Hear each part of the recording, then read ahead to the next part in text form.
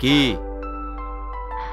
আমি বলছিলাম না যে আমি পাঁচ মিনিটের মধ্যে তোমার কাছে আসব হুম তুমি আসলেই একটা পাগল এই কয়েকটা দিন আমাকে না দেখে থাকতে পারলে না হুম পারলাম না তাই তো তোমার কাছে চলে আসলাম ইয়ে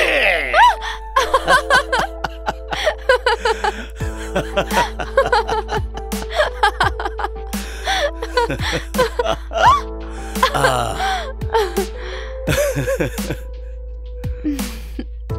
আমার পুরো পৃথিবী একদিকে আর তুমি একদিকে। সেটা তো আমি জানি। কিন্তু এত পাগলামি তো ভালো না। তুমি যে চলে এলে আমি তোমাকে টাইম দিব কি করে? আমার তো টানা শুটিং কোনো গ্যাপ নাই। কোনো গ্যাপ নাই না? আচ্ছা ঠিক আছে তুমি একটা কাজ করো। তুমি ডিরেক্টরের নাম্বারটা দাও আমি ফোন করে বলে দিচ্ছি। প্লিজ সুখ এই কাজটা করো না। এমনিতে একটা ঝামেলা হয়ে গেছে। ইউনিটের লোকজন যদি জানতে পারে তুমি আমার সাথে তাহলে ভয়ে শুটিং বন্ধ করে দেবে। আমার ক্যারিয়ারের বারোটা বেজে যাবে। শুটিংয়ের পর যে সময়টুকু পাবো সেটুকু আমি তোমার সঙ্গেই কাটাবো। বাকি সময়টুকু তোমাকে একা একাই কাটাতে হবে। আচ্ছা তাহলে এক কাজ করি। আমি উৎসুক জনতার মতো তোমার শুটিং দেখি। তুমি লোকেশনে থাকলে আমার তো সব গুবলেট হয়ে যাবে। তাহলে আমি কি করব? লোকেশনে যাব না? ওকে লোকেশনে গেলাম না আমি এখানেই থাকব। হুম?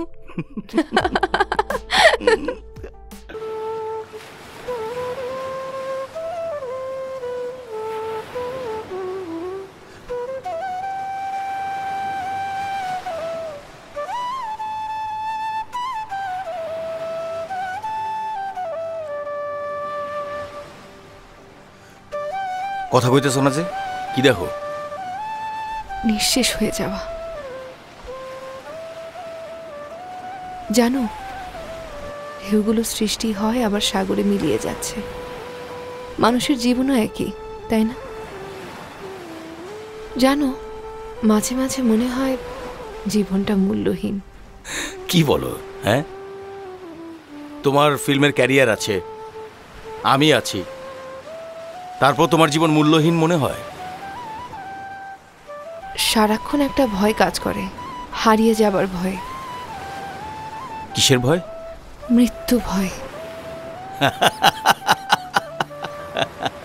আরে মরণ আছে বলেই তো জীবন এত সুন্দর। আচ্ছা সু পৃথিবীতে কি এমন কিছু নেই যা পেলে অনন্তকাল বেঁচে থাকা যায়? আছে তো। কি? প্রেম। প্রেম? হুম প্রেম। ভালোবাসা মোহাব্বত। লাইলি মজনু শিরি ফরাদের নাম শোনো নাই? ওরা তো প্রেমের জন্য আজ পর্যন্ত পৃথিবীতে বেঁচে আছে। ওসব তো উপন্যাসে লেখা গল্প। আরে উপন্যাসের গল্প তো মানুষের জীবন থেকেই নেওয়া হয়। না আমাদের জীবন নিয়ে কোনোদিন উপন্যাস লেখা হবে না। কেন? আমি মাফিয়া বলে? হয়তো। কেউ লেখুক আর না লেখুক। আমাদের দুজনের প্রেমের উপন্যাস আমরা নিজেরাই লিখব। ঔপন্যাসিক বাবু সেই উপন্যাস পড়বে কি শুনি? যখন তুমি আর আমি নিঃশেষ হয়ে বাতাসে মিশে যাব তখন আমাদের এই প্রেমই ইতিহাস হয়ে কথা বলবে।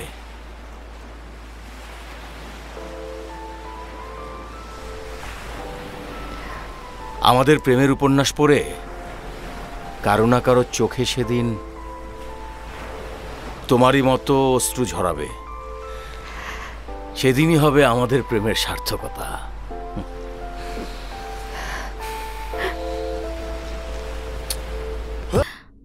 আপনার জন্য আমি দুটো সিনেমার হিরোইন হয়েছি। ও তাই নাকি? শুনে খুব ভালো লাগল। কিছু মনে না করলে একটা কথা বলতাম। আপনার জন্য আমি ছোট্ট একটা গিফট নিয়ে এসেছি। প্লিজ না করবেন না। আমার লিগে গিফট আনছো? জি। আচ্ছা দেখি দেখি।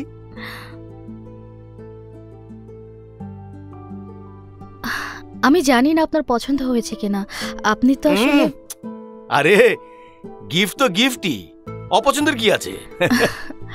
আমি কি আপনার হাতে পরিয়ে দিতে পারি ইফ ইউ ডোন্ট মাইন্ড আচ্ছা দাও দাও দাও।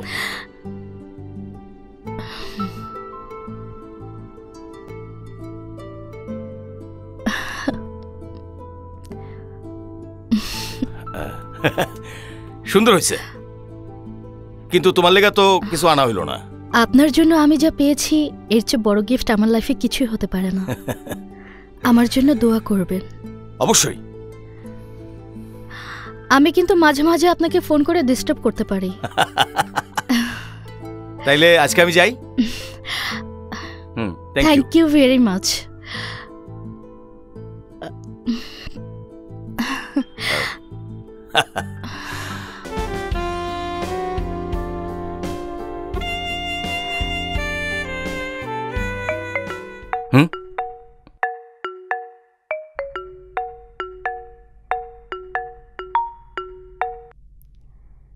hello কে? আমি মীরা বলছি। যাকে আপনি নায়িকা হবার জন্য দোয়া করেছেন। ও আচ্ছা আচ্ছা। তো বলো কেন ফোন করছ? আগামীকাল নীলাঞ্জনা ছবির মহরত হতে যাচ্ছে। আপনি যদি আসতেন আমি অনেক খুশি হতাম। আমি তো আসতে পারব না। কেন? আমি তো ঢাকায় নেই। আমি কক্সবাজার। হোয়াট আ সারপ্রাইজ মহরত তো কক্সবাজারেই হচ্ছে। প্লিজ আপনাকে আসতেই হবে। এখন কিন্তু না করতে পারবেন না। কোনো অপশন নেই আপনার। আচ্ছা আচ্ছা আচ্ছা, ঠিক আছে দাঁড়াও। আমি আমি ট্রাই করব hmm? Okay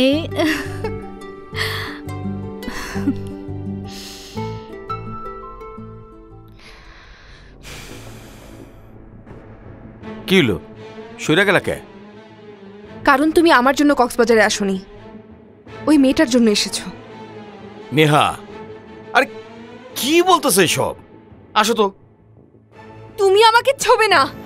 please Neha please তুমি আমাকে বিশ্বাস করো ভগবানের দিব্যি। আমি একটু মিথ্যে কথা বলছি না।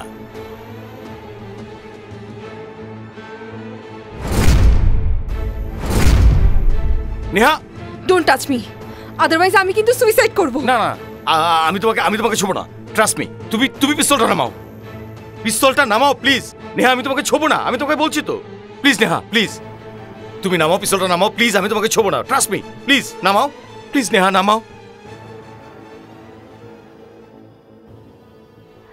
আমি আর এক মুহূর্ত তোমার সাথে থাকব না। তুমি কেন যাবে? তুমি কেন যাবে? আমি চলে যাচ্ছি। থাকো তুমি।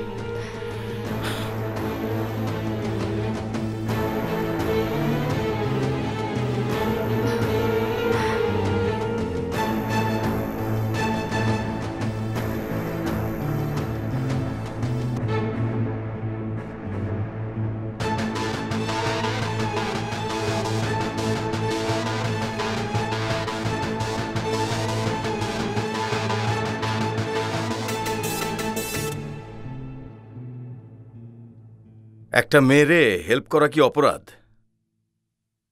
আচ্ছা মেয়ে বাদ দিলাম। একজন মানুষের হেল্প করা কি অপরাধ? আচ্ছা তুই তো জানোস আমি তোরা বিয়ে করব ওর লোকে সংসার করব এই সাঁতার মাথার ক্যারিয়ার দিয়ে কি হইব? আরে এখন তো মানুষ তারে চিনে হইল তো বাস।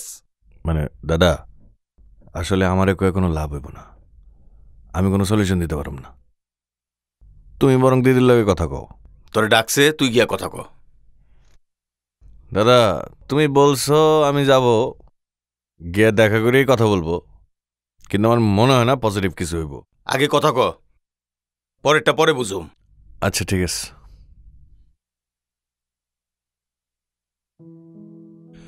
বদ্দা চাইতেছে আপনাদের বিয়েটা হয়ে যাক।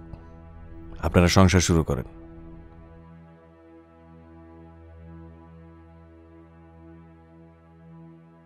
দিদি সম্পর্কের মধ্যে মান অভিমান হবে, ঝগড়াঝাটি হবে, এটা খুবই স্বাভাবিক। একজনের না একজনের তো স্যাক্রিফাইস করতে হইব, নাহলে সম্পর্ক টিকে থাকব কেমনে, তাই না? আমি দাদারও বলছি, আপনারও বলছি, আপনাদের মধ্যে যদি কোনো ঝামেলা থাকে, সামনাসামনি কথা বলেন, একটা সলিউশন বের হয়ে আসবে। ঠিক আছে, আমি কথা বলব।